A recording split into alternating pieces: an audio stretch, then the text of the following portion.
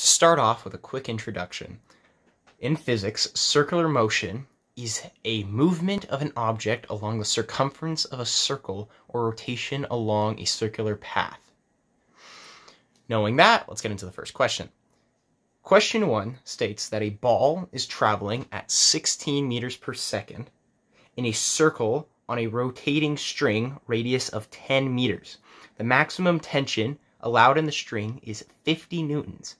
What is the mass of the ball?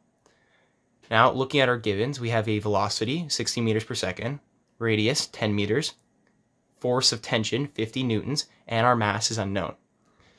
Now, using our forces formulas, we use F net equals ma. And then we find what our F net is. Our F net is our force of tension. Now, F net equals ma, so Ft equals ma.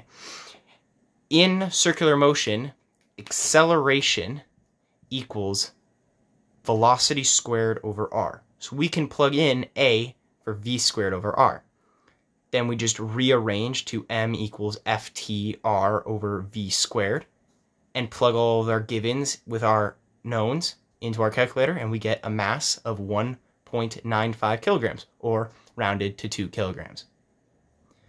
Now, the reason this question is a developing level is because it introduces the basic ways of using circular motion and the centripetal force formula. Question number two says that a curve has a radius of 50 meters and a banking angle of 15. What is the ideal or critical speed, the speed for which no friction is required between the car's tires and the surface, for a car on this curve? So these are what we like to call banked curve problems. And because there is a car on an angle, which is banked at a certain degree, going around in a circle, which means it applied to our circular motion definition. So once we have that, we look at all of our givens, and you can see that we don't have much. We only have our radius, which is 50 meters, and our theta, which is 15 degrees. That's all that the question gives us.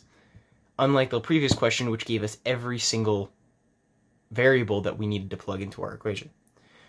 So afterwards, we we take the car and we make a free body diagram. Any forces problem, you always have to make a free body diagram.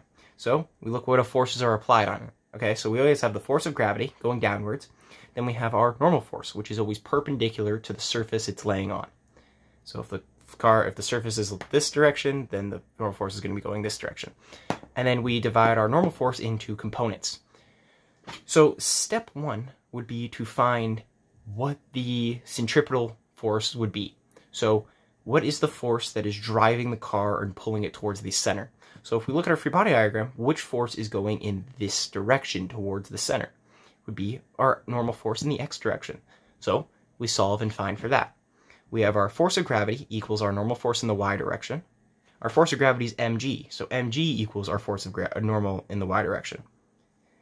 Then we have to solve for our f and x. So using trigonometry, we solve for f and x is equal to f and y tangent theta, which if we solve for previously, which f and y equals mg, mg equals tangent theta. Now, just like the previous question, we plug in f net equals ma, f and x, which is our centripetal force towards the center, equals mv squared over r. That's the formula for the centripetal acceleration. Then we have mg tan theta equals mv squared over r. Cancel out our masses because they're on either side.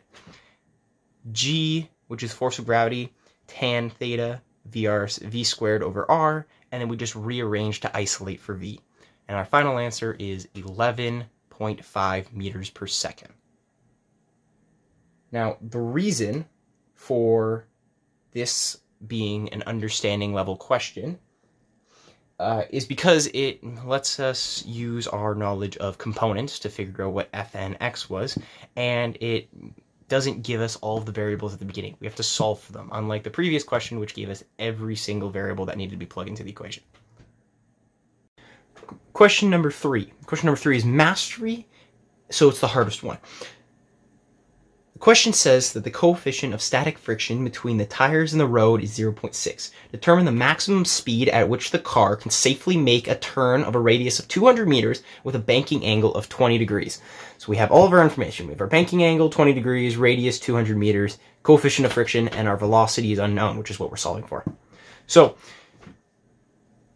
now we have a new component. We have our components of friction, and friction always opposes the direction of motion. So the question said the maximum speed, which means that the speed that at which it won't fly off. So always flying off this direction, that means the friction has to go that direction. So start off, part number, step number one is finding all the F net in the Y direction. So we have the Fn, for the normal force in the Y direction, the force of gravity, minus the force of friction in the y direction. Then we take all of those numbers, we sub, uh, we solve and isolate for normal force. That will be used later. Now, the second step, we use the F net of x, which is the F normal x, and then the F friction x, which then we isolate and we use common factoring to remove the Fn, which then we sub in our previous formula to that, and then we multiply and simplify to get this formula. Now, our final step is we use MA, which is our centripetal force, is equal to our F net in the x direction. So mv squared over r is equal to this formula that we had down here for the x. And then we just cancel out the masses and isolate for v, and we get our number of 49 meters per second. This question is in the mastery section because it introduces a new force component, friction. You need to be able to identify the centripetal force and know how to convert formulas like friction is equal to normal force times mu. It also demonstrates the addition of multiple vector components, like when trying to identify whether to add or subtract the x vectors versus the y vectors. Now, you're probably wondering what are some real-life applications? Where do we see centripetal force and circular motion in the real world? Now, a couple examples. The first example would be artificial gravity. On the International Space Station, they can simulate the effects of Earth's gravity by making the outside of the space station spin at a certain velocity so that there's a pull downwards keeping you on the surface. Another example would be roller coasters. When you're at the top of the roller coaster, the reason you don't fall all out and splat on the ground is because the velocity is so fast. Another example would be satellites.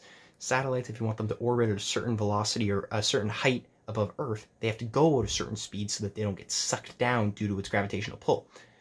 And the final example would be the banked curve uh, questions that we did, where if your car is turning at a certain on a certain angle and it goes a certain speed, then it won't slip or fall off. Thank you for listening. Hope you enjoyed.